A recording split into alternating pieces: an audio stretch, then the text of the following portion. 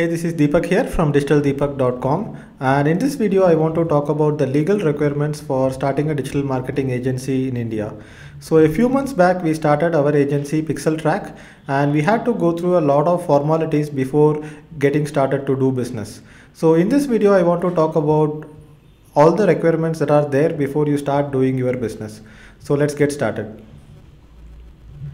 So first thing to know about is the different types of company formations in India. The first type is a sole proprietorship firm. Sole proprietorship firm is usually a self-employed business. It is extension of a personal business and your personal PAN card is used as the taxation ID for your business as well.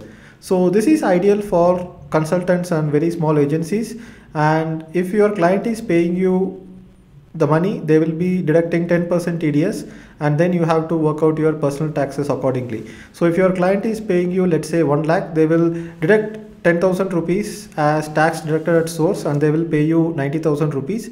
So you are receiving money as a consultant or a freelancer and this money is deposited against your PAN number which can be balanced off with your total tax liability for the year and then you have partnership firm. So if you are two or more partners then you need a partnership firm.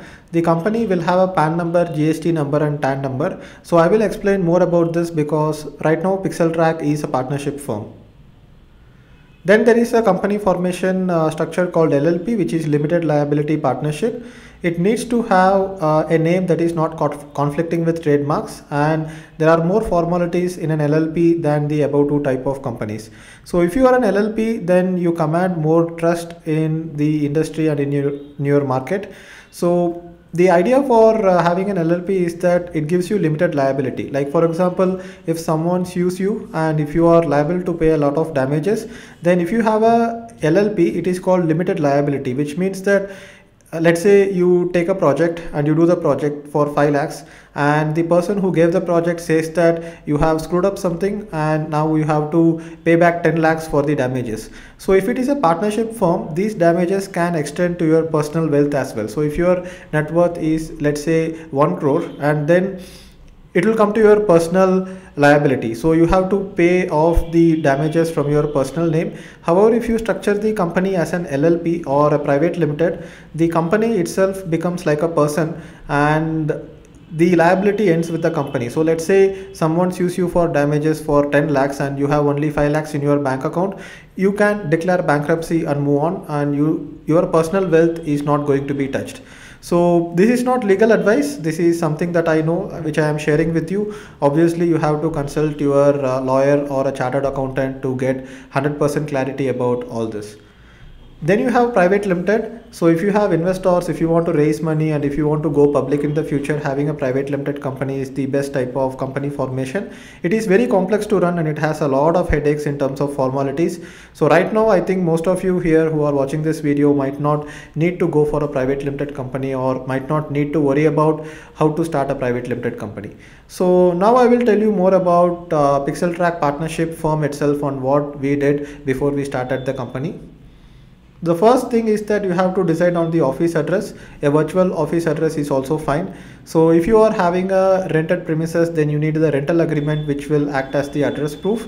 Or uh, if you don't have all that, then you can just go ahead, pay 1500 rupees a month to a business center or something like that and, and they will give you an office address. You need photo, ID proof and PAN number of the founders and here Aadhaar is not mandatory even though many people will tell that Aadhaar is mandatory it's not mandatory. You can just go ahead and open um, a bank account and everything just with photo ID proof and PAN number. So once you have all this then we need to create a partnership deed. And the partnership deed has to be registered through the uh, companies act. So this will be done by your chartered accountant and there are a lot of legal service providers that will help you do this so once you have the partnership deed ready, you can go ahead and apply for a PAN number and you have to open a current account in a bank with uh, the PAN number application and uh, all the other ID proof that you have. So once you open a bank account, then you can go ahead and apply for GST after the bank account is opened. So all these things you don't need to do it yourself. Your chartered accountant will help you with it. 10 to 15,000 rupees is the average that CAs will charge across the country in India. So I also want to uh, tell you about the different type of rubber stamps or seals that you would need. Uh, you would need a seal with company name and address as you can see in the picture here. So here you can see we have the company name and our office address. You need a round seal. Then you need co-founder seals with the co-founders names. And then you need a seal which is uh, authorization signatory seal also called as a for seal. So these are the five different seals you would need considering that you have two co-founders. If you have three co-founders, you might need six total uh, rubber stamps or seals. So this might be required for various things like opening a bank account, applying for something, uh, creating proposals and things like that. Then you also need office stationaries. So you need a letterhead with logo, address and contact details. You need business cards for uh, the each co-founder and you might need envelopes with logo and address of your company. And optionally, you can also have branded file folders, pens, calendars, etc., which you can give to your clients if you are going for client meetings and things like that.